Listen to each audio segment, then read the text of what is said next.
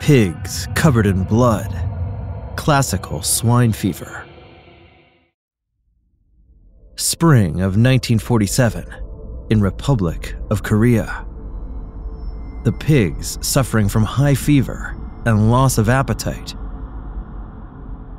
After a few days, they had failed to recover and eventually died.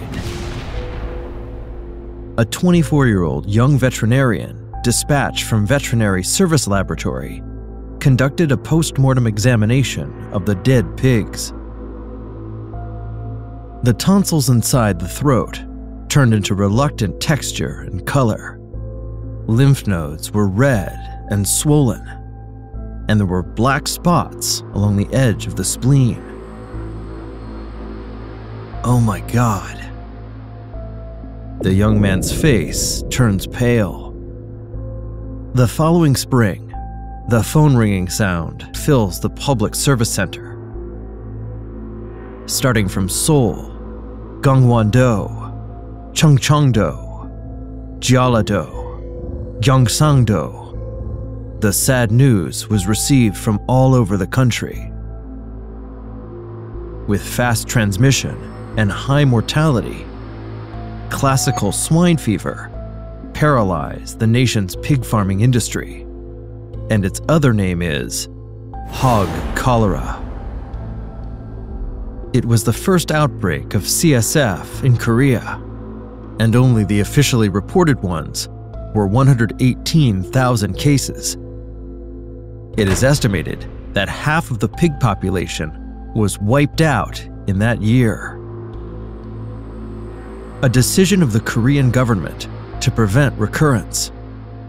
Classical swine fever is designated as a legal communicable disease all pigs must be vaccinated against classical swine fever. Failure to comply with regulation can result in fines, and the farm will be banned shipments to the slaughterhouse. A drum full of leftovers in the sweltering heat. Soon, what is inside becomes food for pigs, and the swine fever virus in the contaminated food enters the pig's body and goes through a short incubation period. When a virus enters the body, it is normal that the immune system is activated and kills the virus. But this time was different. The number of viruses kept increasing, and they settled in all the places like saliva, tears, excrement, organs, etc. Then, they induced abnormal immune responses for immune cells to commit mass suicide. The pig's defense system collapsed, and CSF virus spreads throughout the entire body, along blood vessels and lymphatic vessels extending in the body. Tonsil, lymph nodes, spleen. Traces of destruction can be seen everywhere. Hemorrhage. The Netherlands in 1982. A new discovery from swine viruses research.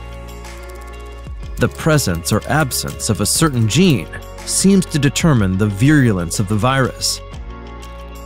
An experiment to prove this theory the virus that has removed a specific gene was injected into pigs. As expected, the toxicity of the virus has significantly decreased, and the immune system effectively removed the virus. Then, wouldn't it be possible to make a vaccine with a virus that has a specific gene removed? Developed based on this idea is a marker vaccine with the birth of marker vaccine, the world is now capable of preventing and eradicating classical swine fever.